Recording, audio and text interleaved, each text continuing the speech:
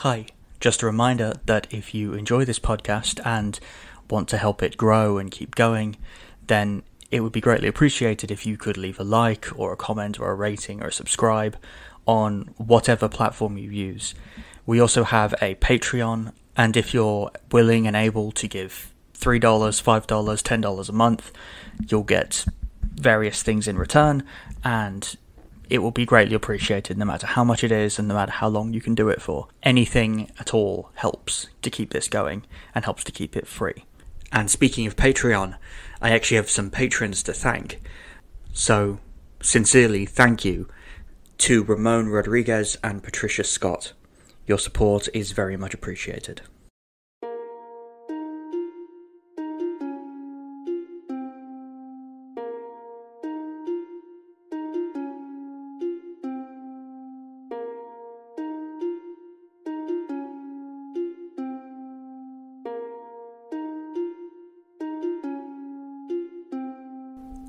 What? I'm your host, Tom Kearns, and welcome to the Anglo Saxon England podcast, episode 21 Athelbald, the State Builder. Last time, we ended with the death of King Ceolred, grandson of Penda, who died ignominiously at a feast and left behind a legacy that is pretty overwhelmingly negative. Following Ceolred's death in 716, the kingship of Mercia passed into the hands of a new dynasty. And with this new dynasty, there came new dynamism. In this episode, we'll be looking at the first member of this new dynasty, King Athelbald, who I've called the State Builder. Why? Well, it's because, as I will show, Athelbald in several ways oversaw the development of Mercia from a loose overlordship to something approximating a state, with a nascent hierarchy and bureaucracy. In this episode, first we'll look at his family and his early life, and then we'll consider the various ways that he revolutionized Mercian politics. Finally, we will wrap it up with a brief consideration of his legacy. Not very much is known about Athelbald's family. In The Life of Guthlac by Felix, he's said to have been a descendant of Eowa, Penda's mysterious older brother.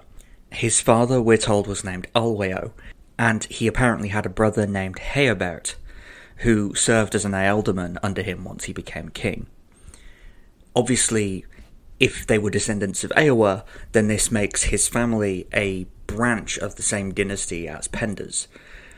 But other than that, we really don't know very much about his background. We do know, though, that he was considered enough of a political danger to be sent into exile by Ceolred, possibly an indication of strife between the two branches of the family. It was while in exile that Athelbald seems to have lived an itinerant life in East Anglia. The only thing we know he did during his exile was to visit St. Guthlac, a Mercian noble who'd taken up the life of a hermit in a burial mound in the East Anglian fens. The record of Athelbald's visit to the saint, along with his band of companions, is recorded in the Life of Guthlac written by Felix and it contains a lot of the usual hagiographic tropes of Guthlac miraculously healing companions from diseases and that kind of thing. What is most interesting in Felix's account, though, is that it seems to suggest Guthlac was tied closely to Athelbald to political success, as is seen in the episode of a dream attributed to Athelbald following the saint's death. In this dream, Guthlac appeared to Athelbald and prophesied that he would become a great king, and overthrow his enemies. Obviously, with the death of Ceolred in 716, this prophecy was fulfilled, and Athelbald seems to have returned from exile and claimed the Mercian throne, although if he claimed it through violence or if he was welcomed back isn't recorded in any of the documents. As a way of recognizing the devotion he had to Guthlac, Athelbald then played a very key role in supporting the early cult of the saint at the Abbey of Crowland Thus, Athelbald emerges from a fairly mysterious background to become king in 716. The line of Penda then completely lost control of the throne, and it passed instead to the descendants of Eowa. But what world did the new king of Mercia find himself in? Well, the England south of the Humber that Athelbald faced in 716 was not a promising one for a new king looking to maintain his rule through the traditional means of warfare. Wessex and Kent were both at that time ruled by very strong kings, Ine and Wihtred respectively. These two kings had both been major hindrances to Ceolred's desires to maintain Mercian power, and it looked like they would be a similar hindrance to Athelbald.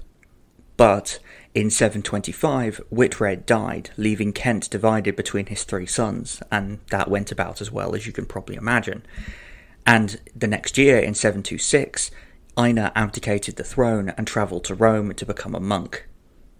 Thus, the two biggest obstacles to the expansion of Mercian power were removed, and this left the field open for Athelbald to pursue his policies. But what had Athelbald been doing in the decade between 716 and 726? Well, he seems to have focused mainly on securing his position within Mercia.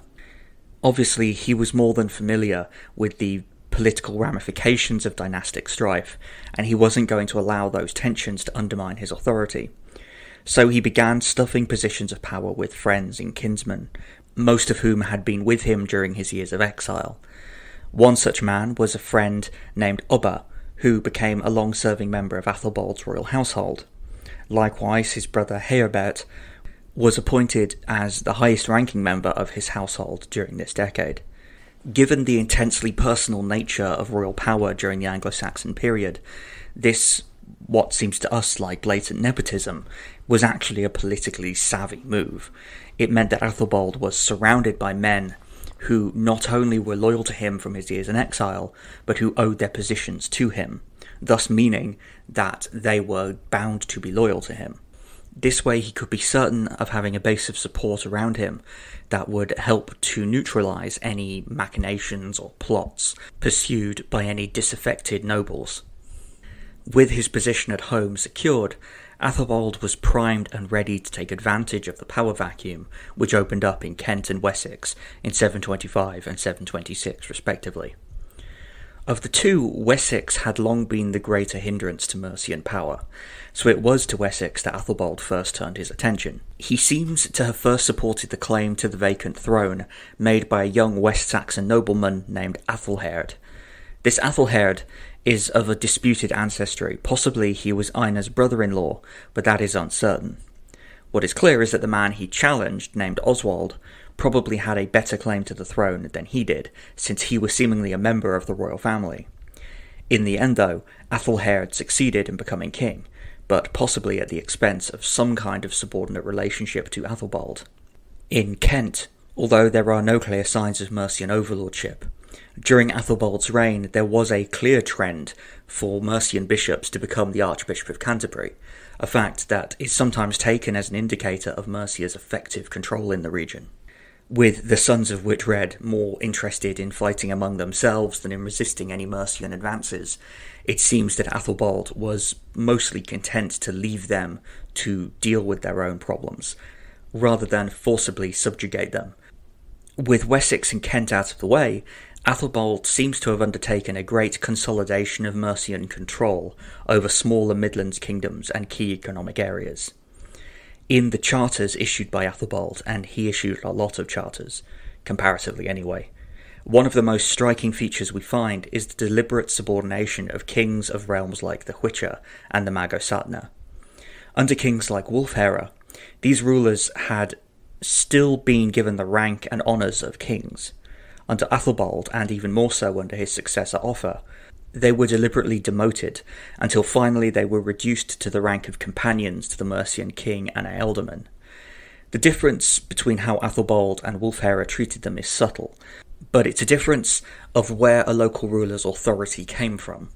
Under Wulfhere, these men still had royal authority of their own, even if they required the consent of the Mercian king to exercise it by, say, granting land. Under Athelbald and later Offa, these men lost any royal authority, and instead derived all of their authority from the Mercian king. Their realms, in other words, had been fully incorporated into the Mercian kingdom, and no longer had any means of reasserting their independence. Athelbald also reasserted Mercian control of Droitwich and London. He clearly took a keen interest in both places, since he issued several charters relating to the economic exploitation of these sites. In London, especially, he was keen to promote international trade by waiving tolls on shipping. His interest in economics is also reflected by his minting the first identifiable Mercian coins. There were two mints operating in Mercian territory around the year 731, one in London and one possibly in Oxford, both of which were minting silver coins bearing identical decorations.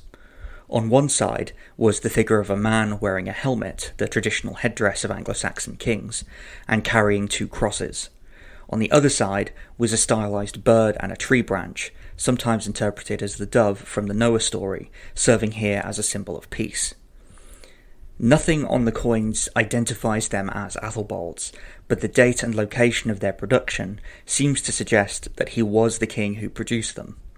It's also worth noting that their distribution seems to have been mainly around London, suggesting that they were used more for international trade than as an internal Mercian currency. This, if it is the case, would strongly indicate that Athelbald had a keen interest in the economic prosperity of the kingdom and that he saw London especially as key to that prosperity and undertook all that he could to ensure that trade there was attractive and could take place as easily as possible. Athelbald's actions as king can be best understood as reflecting two main motives. The incorporation of traditional tributaries into the Mercian kingdom as vassals, and the defence of Mercian territorial and economic interests. Thus, War was not the primary tool of overlordship that it was for Penda and Wulfhere. Certainly, Athelbald engaged in his fair share of wars, and apparently he engaged in it quite successfully. He fought several wars against Wessex, at least one against the Britons, and led at least one raid into Northumbria. But diplomacy seems to have been a more important tool for him than for previous Mercian kings. It's not clear, for example, that he fought with the East Anglians, the people of Essex, or the people of Sussex. They certainly seem to have acknowledged his seniority, but he mostly left them alone, and it's not clear if they were subjected to him in any way. Even Wessex, where he may have played a key role in establishing Athelheard on the throne, was not a subject kingdom to him, and he certainly fought several wars both with Athelheard and with Athelheard's successor Cuthred.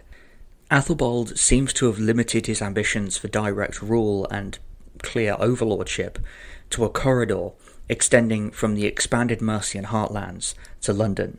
It can seem a bit surprising then, when in 731 Bede, surveying the state of England in the final chapter of his ecclesiastical history, described Athelbald as the ruler of all the southern English.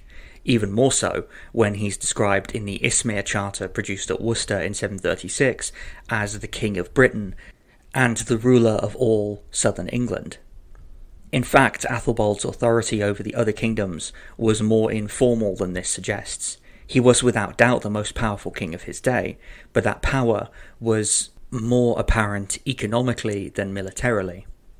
Another key area in which Athelbald developed the Mercian state was through his relationships with the church and the implications this had for the workings of Mercian land tenure.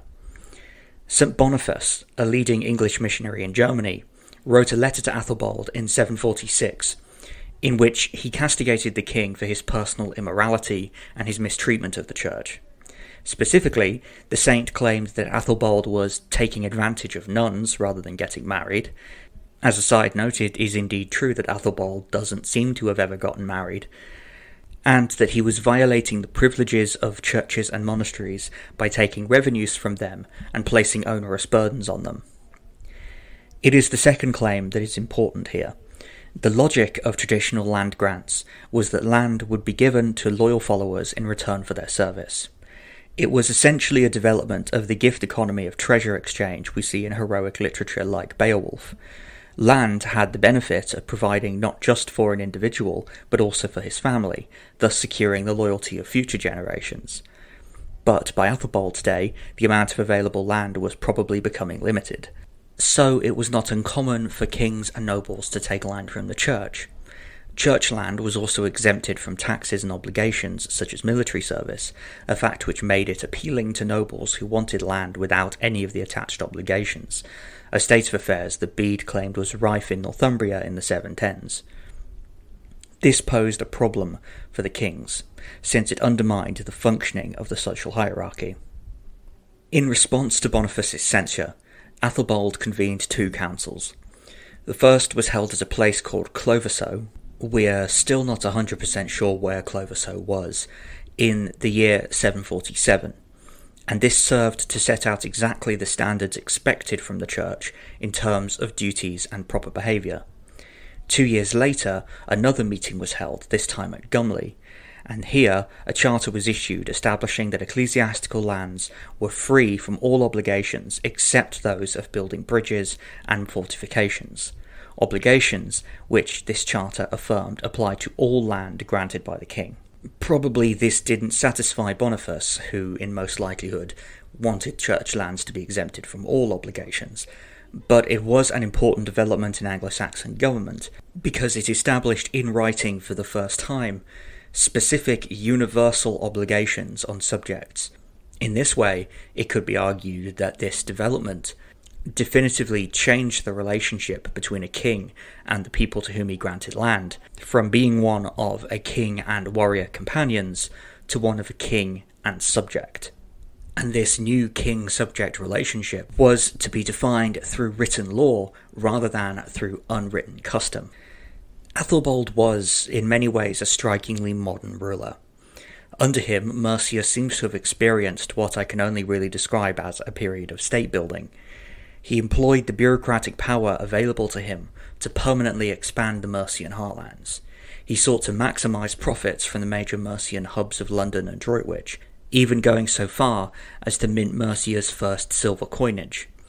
And he formally defined the obligations expected of landholders, effectively taking the Mercian kingdom from a realm based on militaristic relationships of loyalty to one based on a king subject relationship that would be further expanded under Offa. In fact, in many ways, Athelbald walked so Offa could run, and we'll see this in the next episode. But none of this could ultimately save Athelbald. In 757, he was murdered in an apparent coup by members of his own household.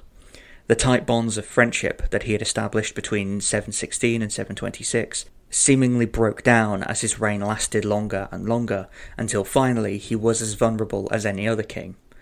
Let's not forget, though, that 41 years was an extraordinarily long reign for the Anglo Saxon period, and despite its conclusion, it is a testament to Athelbald's power and skill as a leader that he could maintain a hold on Mercia for that long. Athelbald was succeeded by a distant relative named Beornred, but his reign was extremely short. Within a year, he was deposed by Athelbald's cousin, twice removed, named Offa, and it was this Offa under whom Mercia would reach the zenith of its power and its ambitions. But the successes of Offa were built upon the foundation established by Athelbald, and seemingly Offa himself was aware of this. It was during his reign that an elaborate stone cross was erected at Repton, where Athelbald was buried. On the fragment of this cross to survive today, we can see a figure clad in armour and wielding a shield riding a horse, a long moustache is all that remains of what must have once been a stern face, and on top of his head we can see the thin line of a diadem. This diadem, which would briefly become a symbol of preeminent royal power under Offa, marks the figure out as a king, and it is usually interpreted as a depiction of Athelbald in full war gear, commissioned under the kingship of his cousin. The Repton Cross tells us that Athelbald's memory as a strong leader remained potent even after his murder. But it also clashes somewhat with the image of him that we get from the primary evidence. As I said, he did win his fair share of wars, but he was not really a warlord in the way of his predecessors. The parts of his reign that stand out the most now cast him instead as a shrewd statesman who understood the importance of loyalty and power structures. Really, Athelbald's reign is quite frustrating to study as a historian, because it just makes us wish that there was more written evidence, specifically written evidence produced from within Mercia, since the kingdom must have been undergoing some quite momentous changes under Athelbald. And yet, the evidence of charters and the archaeological evidence that survives only really hint at those changes, rather than expressing their full significance and radicalism. But Athelbald's reign was only the beginning of broader changes within the Mercian kingdom. Far more momentous changes were to come under the leadership of Offa, who would become to later generations easily the defining Mercian king.